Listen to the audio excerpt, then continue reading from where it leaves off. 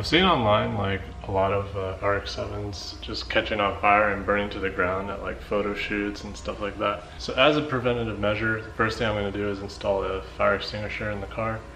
Um, I already have the fire extinguisher. Currently it's just sitting on the floor. I think it's just a two and a half pound uh, ABC dry chemical fire extinguisher. Pretty standard. Right now I just have it sitting on the ground, which is kind of dangerous because in a crash it could be a projectile. So the other day I ran down to SakeBomb Garage and um, they make a bracket, which I picked up, um, which allows you to mount it to the seat kind of where it was inside the car, but it's just a solid mount so you don't have it flying around. This is the SakeBomb Garage fire extinguisher mount that mounts to the seat. These two holes will mount to the two bolts going to the front of the seat. Let's see if the existing holes line up. It's a little off. We'll just have to drill our own holes. To take the seat out, what you'll need is a 14 millimeter socket. I just got a really big extension so I can clear the seat and have plenty of room to swing around.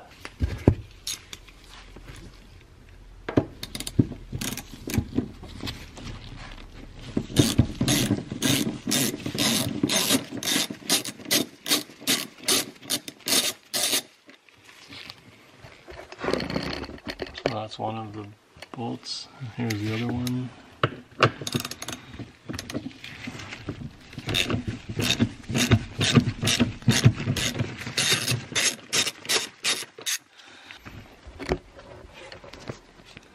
So those are the two fronts for the seat. Now I have to scoot this seat forward. This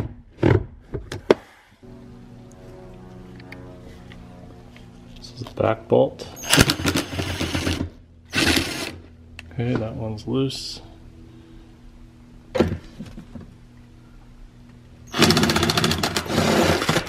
Okay.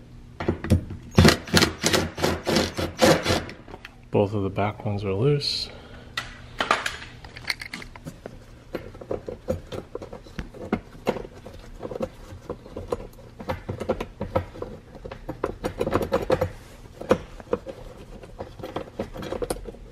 Seems fully loose.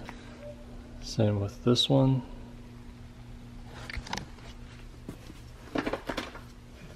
Okay, this one came out. Why does this one not come out?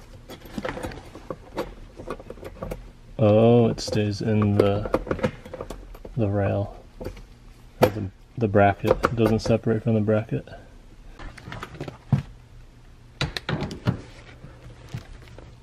Should be able to break free these front ones. Okay.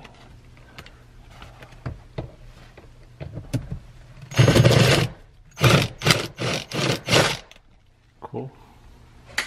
So now we should be free to lift this seat out.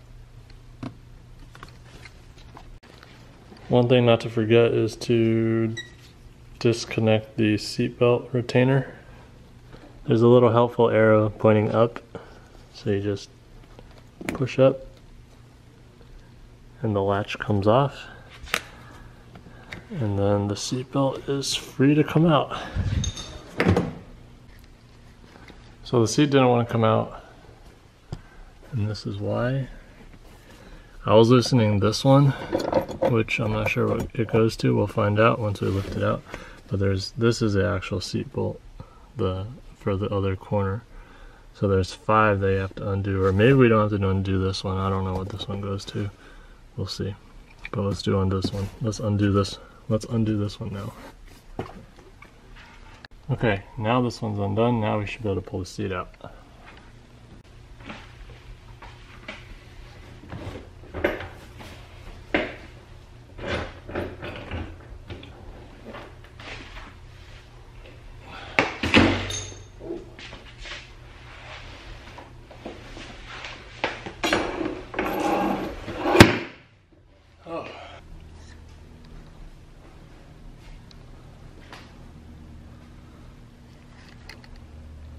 So the extra fifth bolt just looks like a retainer that it was using to like to guide it when sliding forwards and backwards.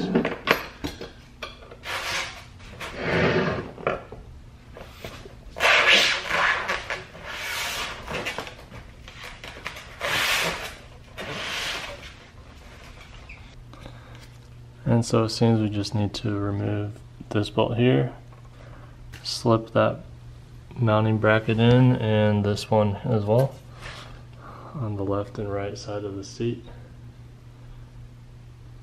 and then put it back together. Interesting. It's like a fiberglass seat makes it light. That's cool. So I got these two bolts out, it's a 12 millimeter.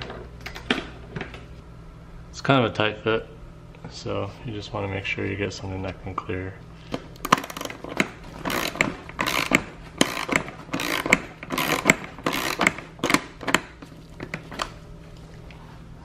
And same thing to the bottom one.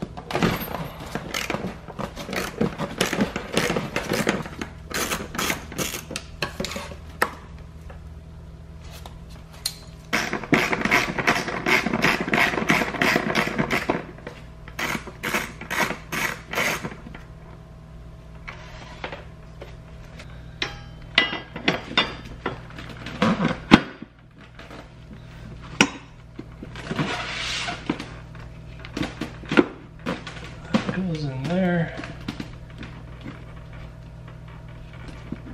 Or at least it should. Uh, oh, okay. Yeah, sits real snug. The bolt back in on both sides.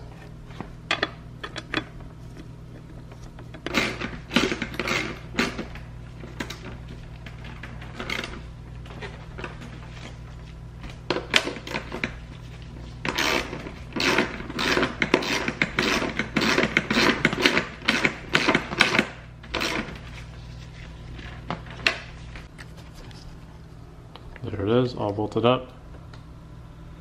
So now that it's now that there's this extra material in here, it it kind of there's like a gap that pushed up the seat a little bit. So SakeBomb Garage supplied these spacers to go on the rear to fill that extra gap. I'm gonna try to run it without, um, just so that the bottom of the seat will sit more like at an angle and I don't know, maybe hold the passenger in a little better. Okay, so I drilled some holes for this bracket that came with the fire extinguisher and then just put in the uh, these little Allen bolts. And then just mounting this up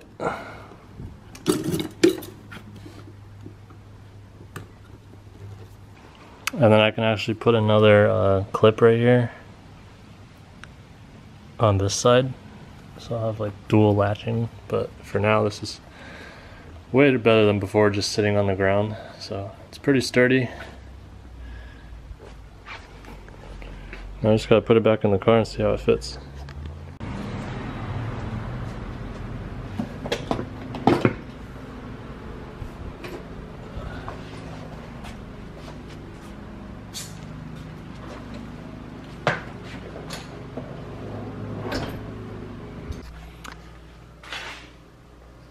Here it is, all installed and completed. And it looks pretty good and if we try a test fit